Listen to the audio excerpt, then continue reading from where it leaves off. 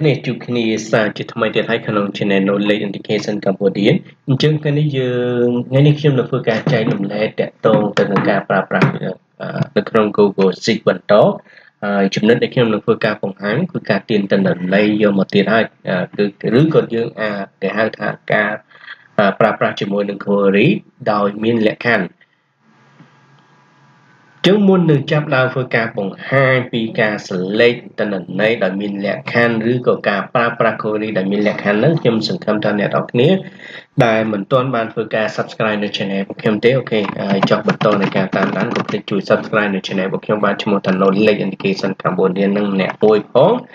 ជាពិសេសមួយទៀតបើសិនជាអ្នកទាំងអស់គ្នាចង់បាននៅ support អ្នកគ្នាអាចចូលទៅក្នុងគេហទំព័រឬក៏ website មួយនេះដែលមានឈ្មោះថា readit.com ដែលជា website មួយជួយអ្នកគ្នាតាក់ទងទៅនឹងការសរសេរ program គូផ្សំជាមួយអត្ថបទដែលមាននៅក្នុង channel របស់ខ្ញុំផងនៅក្នុង website ផងនិងវីដេអូដែលមាននៅក្នុង channel Knowledge Education Cambodia ផងអូខេអញ្ចឹងកុំឲ្យខាតពេលយូរយើងមកកលេចមកមើលតារាងទឹកន័យដែលអ្នកនរកំពុងឃើញនេះគឺអ្វីដែលខ្ញុំនឹងធ្វើការបង្ហាញនេះគឺយើងនឹងប្រើប្រាស់ query ហើយដែលបានយើងត្រូវធ្វើការប្រើប្រាស់ query ដោយសារតែយើងមានលក្ខខណ្ឌចង់បានទៅទឹកន័យណាដែលយើងត្រូវការដើម្បីសរសេរយកមកធ្វើការប្រើប្រាស់បង្ហាញគេឬក៏យកធ្វើការអឺ អ្វីមួយទៅដល់របស់យើងណាមានន័យថាយើងនៅក្នុងនេះតន័យរាប់ពាន់រាប់ម៉ឺនចឹងទៅអញ្ចឹងយើងចង់ឲ្យវានៅសតន័យណាមួយដោយងាយស្រួលក្នុងការប្រើប្រាស់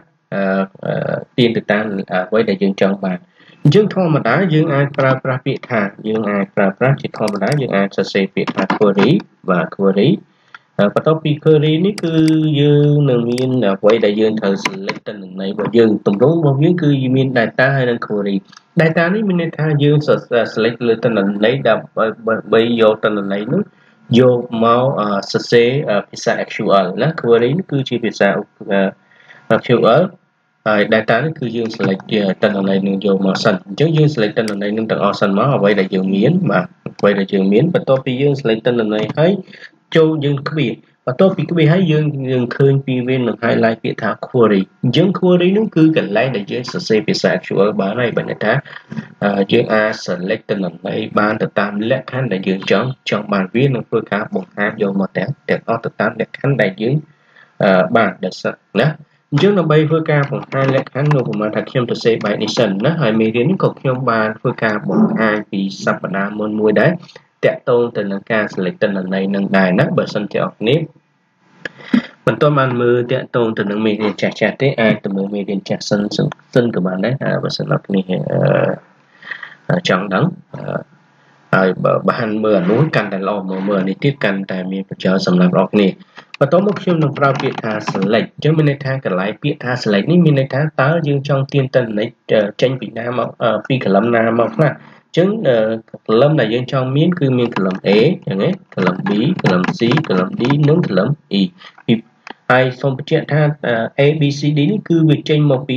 data នេះវានឹងទាញចេញពី data នេះយកមកទាំងអស់ បើសិនជាខ្ញុំសរសេរប៉ុណ្្នឹងសិនហើយខ្ញុំបិទវងកញ្ចក់បាទខ្ញុំខ្ញុំមិញកណ្ដាលវិញសិនហើយខ្ញុំបិទ report អញ្ចឹងទិន្នន័យទាំងអស់វាដូចនៅខាងលើអញ្ចឹងគឺវានឹងធ្វើការបង្ហាញមានទាំងអស់ដូចខាងខាងលើក៏ប៉ុន្តែយើងអាចសរសេរទៅតាមលក្ខខណ្ឌដែលយើងចង់បានដូចមិញដែលខ្ញុំបានធ្វើការបង្ហាញយើងអាចសរសេរបាទយើងអាចធ្វើការដាក់ថាវាបាទអញ្ចឹងវានឹងមានន័យថាលក្ខខណ្ឌអញ្ចឹងយើងយក column មួយណាជាលក្ខខណ្ឌឧបមាថាខ្ញុំយក column E ជាលក្ខខណ្ឌអញ្ចឹងខ្ញុំវាយ E ចូលមកហើយស្មើនឹងលក្ខបាទស្មើនឹងលក្ខខណ្ឌដែលយើងចង់បានចង់បង្ហាញអញ្ចឹងយើងចង់បង្ហាញទៅគ្រូបង្រៀនអញ្ចឹងយើងអាចសរសេរពាក្យថា teach teacher ចូលកន្លែងនេះអញ្ចឹងគឺវានឹងធ្វើការបង្ហាញទៅគ្រូបង្រៀនទេនៅបាទនៅក្នុង column E អញ្ចឹងយើង enter ទៅគឺវានឹងធ្វើការបាទបង្ហាញតែ column ណាដែលជាគ្រូបង្រៀនទេ ឬក៏យើងចង់បដូរកលឹមអីទេយើងអាចដាក់បានណាកលឹមអីគេកលឹមទីអញ្ចឹងកលឹមនេះគឺផ្ទុកនៅអាស័យដ្ឋានអទីតាំងកន្លែងកំបាទអញ្ចឹងយើងអាចដាក់មកកណ្ដាលអញ្ចឹងយើងអាចសរសេរកណ្ដាលមកវាបង្ហាញតែអ្នកណាដែលនៅខែកណ្ដាលទេអញ្ចឹងមុខនីតិអីក៏វាអត់ខ្វល់ដែរ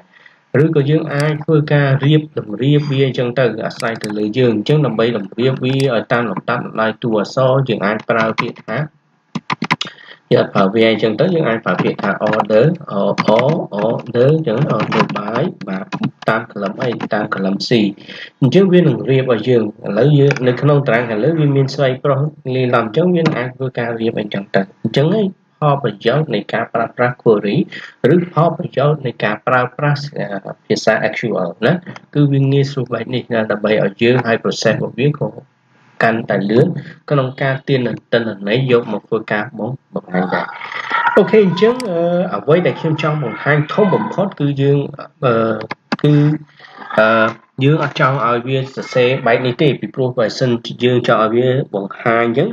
បើយើងចង់បង្ហាញ column អីចឹងយើងអាចលុបចេះខ្ញុំត្រឹមតែបង្ហាញ column D ក៏ប៉ុន្តែយើង ចង់ឲ្យវាយើងគ្រាន់តែចង់បង្ហាញយើងអាចវាយទៅកន្លែងនេះបានណាបើចង់បានបង្ហាញខ្លះយើងបាទយើងចង់បង្ហាញ column អីខ្លះយើងវាយតែនេះទៅ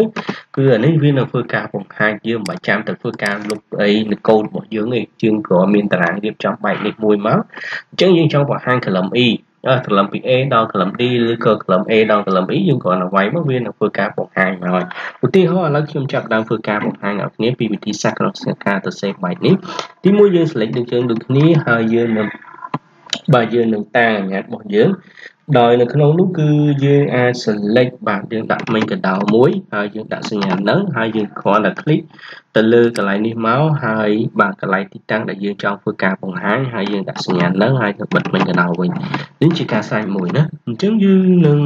អឺវានឹងធ្វើការបង្ហាញបាទនេះលើវងកញ្ចក់ហើយអឺអញ្ចឹងយើងមានតែប៉ុណ្្នេះទេបាទលើវងកញ្ចក់មួយបាទហើយមិញកដោយើងបាទប៉ុណ្្នេះអឺ ជំទោសអឺយ៉ាបាទនេះយើងអឺបាទនេះខ្ញុំដាក់ select បាទត្រូវហើយយើងដាក់តាមនេះមកបាទនេះអញ្ចឹងវាបង្ហាញមកតាមនេះណាអញ្ចឹងកូដរបស់យើងនេះគឺយើងបាទយើងប្រើសញ្ញានឹងដែលអ្នកនាងកំពុងឃើញនេះនេះសញ្ញាបាទមិញក៏ដោ double fold ហើយយើងទៅអឺ យើងប្រើសញ្ញា double fold និងហើយទីតាំងដែលយើងធ្វើការបង្ហាញអញ្ចឹងហើយសញ្ញានឹងហើយមិញក៏ដោសងខាងរបស់វាមកព្រោះដោយសារតែយើងបើកកន្លែង select យើងបើកម្ដងហើយឥឡូវយើងបើកម្ដងយើងត្រូវបិទវាមានដូចគ្នាអញ្ចឹងបើយើងដូរឧបមាថាខ្ញុំចង់បង្ហាញតែ column A column C column D អញ្ចឹងវានឹងធ្វើការបង្ហាញតែ column ហ្នឹងទេយើងអត់ទៅធ្វើការកែកូដរបស់យើងទេយើងចង់អាន A បាទ B C D E អញ្ចឹងវានឹងធ្វើការបង្ហាញមកទាំងអស់ column ដែលយើងចង់ធ្វើការបង្ហាញវានឹងធ្វើការអឺបង្ហាញមកទាំងទាំងអស់ទៅតាមអ្វីដែលយើងបានសរសេរណាអញ្ចឹងនេះគឺជាវិធីសាស្ត្រមួយដែលល្អដែរសម្រាប់អ្នកទាំងអស់គ្នាដែល ដែលប្រើប្រាស់ការទាញទិន្នន័យទៅតាមការប្រើប្រាស់ជាមួយនឹង Google Sheet ឬក៏អ្នកនរគ្នាអាចមានលក្ខខណ្ឌអីចឹងយើងអញ្ចឹងនេះគឺជាលក្ខខណ្ឌខ្ញុំចង់ធ្វើការស្វែងរកបានតែខ្ញុំដាក់ file នេះនេះកន្លែងនេះខ្ញុំអាចធ្វើការ design អឺពណ៌មួយមកបាទអញ្ចឹងកន្លែងនេះគឺយើងអាចវាយ column D បានន័យថាយើងមានលក្ខខណ្ឌយកទៅតាម D អញ្ចឹងបើ D គឺមានផ្ទុកនៅអាស័យដ្ឋាននេះអញ្ចឹងឯងបាទអាស័យដ្ឋានអញ្ចឹងយើងអាចអឺសរសេរភ្នំ បាទភ្នំពេញបង្ហាញអីចឹងមកឥឡូវខ្ញុំសាកសៀដល់គ្នាមើលបន្តិចទៀតអញ្ចឹងយើងអាចថែមលក្ខខណ្ឌរបស់យើងអញ្ចឹងលក្ខខណ្ឌមិញគឺគេទៅសេពាក្យថាវាអញ្ចឹងវាអញ្ចឹងនៅក្នុងវាគឺគេដាក់ឲ្យយើងដាក់នៅអឺ column ទីតាំង column អញ្ចឹង column របស់យើងគឺបាទយើងដាក់ថាសញ្ញាហ្នឹងបាទហ្នឹងហើយយើងយកមកមកចុចលើទីតាំង column របស់យើងហើយសញ្ញាបាទ add ដដែលហើយមិនបាទ ហើយនឹងអឺសញ្ញាមិញកដោវិញអញ្ចឹងបើបន្ទាប់មកយើងដាក់ស្មើបាទស្មើគឺយើងអមដោយសញ្ញា single fold ពីព្រោះយើងត្រូវមានលក្ខខណ្ឌទាំងនេះស្មើនឹងទីតាំង column របស់យើងហើយនឹងលក្ខខណ្ឌដែលយើងចង់ចង់បានអញ្ចឹងកន្លែងនេះយើងនៅមានសញ្ញា single fold ហើយយើងប្រើសញ្ញាមិញកដោដដែលនឹងបាទនឹងអញ្ចឹងសំទោសសញ្ញានឹងហើយយើងនឹងលក្ខខណ្ឌរបស់យើងយើងចុចនៅកន្លែងភ្នំពេញនេះទៅ បាទយើងអាចដាក់ចិត្តគ្នាក៏បានអត់អីទេរឿងដកឃ្លាណាអញ្ចឹងខ្ញុំដាក់សញ្ញានឹងនៅដដែលហើយខ្ញុំបិទវិញកដោវិញហើយខ្ញុំ single អញ្ចឹងត្រង់កន្លែងនេះខ្ញុំអាចធ្វើការបង្ហាញទៅតាមលក្ខខណ្ឌដែលខ្ញុំចង់បានដែរមានន័យថានេះខ្ញុំចង់បង្ហាញពី column A បាទចង់បង្ហាញ column A column B column C ហើយនិង column D លក្ខខណ្ឌខ្ញុំគឺខ្ញុំយកទៅលើ column C បាទបង្ហាញតែប្រុសហើយអញ្ចឹងកន្លែងនេះយកសំទោសខ្ញុំយកបាទ C អញ្ចឹងខ្ញុំដាក់តែ C បាទហើយកន្លែងនេះខ្ញុំដាក់ថា map បាទពូ C វាទុកដល់នេះទេអញ្ចឹងវានឹងធ្វើការបង្ហាញយ៉ាសំទោសវាបង្ហាញតែក្លឹមទៅតាមលក្ខខណ្ឌដែលយើងបានសរសេរនេះទេនៅខ្ញុំស៊ូមមេទូតិចដើម្បីអ្នកគ្នាស្រួលមើលខ្ញុំដាក់មក25វិញបាទអញ្ចឹងកន្លែងនេះគឺលក្ខ លក្ខខណ្ឌណាយើងអាចសរសេរបែបនេះបានដោយសារតែយើងប្រើតែរឿងសញ្ញានិងសញ្ញាគ្នារបស់វានេះទេអញ្ចឹងយើងអាចមើលទៅហ្នឹងអាចកែសម្រួលរបស់ទៅអស់គ្នាទៅដើម្បីងាយស្រួលនេះទានយកទៅនៅគេមិនអាចសរសេរឲ្យលុបអីថែមនេះយើងគេសុខចិត្តធ្វើប្រជាតារាងចេះដើម្បីឲ្យអ្នកនេះធ្វើការចង់ research អញ្ចឹងបើអ្នកនេះចង់ដងក្លឹមអីគេក្លឹម e ថែមមួយទៀតមកបាទក្លឹម e ហើយ ហើយមុខនេតិនោះវាស្ថិតនៅក្នុង column E អញ្ចឹងណាបាទ column E អញ្ចឹងយើងថែមស្វែងរក E បាទហើយមុខទីដែលខ្ញុំចង់រកគឺជាគ្រូបង្រៀនអញ្ចឹងខ្ញុំសរសេរនៅក្នុង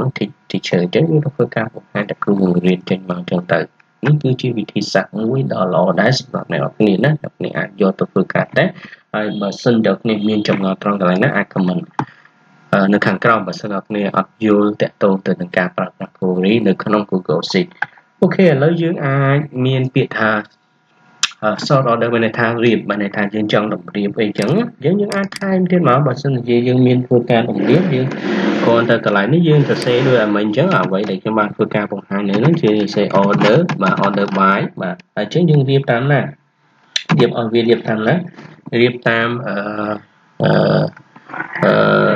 club បាទ club មួយណាមួយចឹងទៅរៀបតាមតកោតាមឈ្មោះចឹងមក អញ្ចឹងវានឹងធ្វើការវាបើយើងឧបមាថាឥឡូវខ្ញុំអឺបាទអញ្ចឹងយើងដាក់សញ្ញានឹងបាទសញ្ញានឹងដូចមិញអញ្ចឹងដូចគ្នាបាទមានកណ្ដោមួយសិនបាទហើយបានសញ្ញានឹងហើយអីសំទោសសញ្ញានឹងហើយបាទយើងចុចលើក្លឹបរបស់យើងដែលចង់ឲ្យលាបនឹងហើយនឹងហើយមិញកណ្ដោវិញអញ្ចឹងត្រង់កន្លែងយើងបានមួយណាវានឹងធ្វើការរៀបឲ្យយើងណាដោយសារយើងចង់រៀបតាមក្លឹប C ណាក្លឹប C ចឹងកលឹមស៊ីវាចាប់ស្រីម្ដុំប្រុសម្ដុំឲ្យដូចបាទមិញមិញមានលាយគ្នាស្រីប្រុសណាអាស្រ័យលើយើងឥឡូវខ្ញុំចង់ដាក់ថា manager វិញចោះ manager បាទ manager ហើយខ្ញុំ manager មានតែម្នាក់ទេហើយ teacher មិញមានតែម្នាក់ណាដល់ seller seller seller មាន2នាក់ស្រីទាំងពីរឥឡូវស្រីទាំងពីរឥឡូវខ្ញុំធូរតន័យនេះទៅអឺស្រីទាំងពីរមួយទៅប្រុសចុះអឺប្រុសបាទ ហើយចំទុំនេះមានខ្សែលើមើលទៅបានប្រុសមួយទៅបាទអញ្ចឹងខាងក្រោមវីដេអូហើយហើយក៏ប៉ុន្តែអ្វីដែលយើងត្រូវថែមួយទៀតទៅខ្ញុំថានេះជាប្រុសដែរអឺបាទអឺជាប្រុសដែរអញ្ចឹងទៅឬក៏បាទគឺក៏បាទប្រុសឬក៏ស្រីចឹងស្រីទាំងយើងអានេះបាទចេះស្លើដែរមក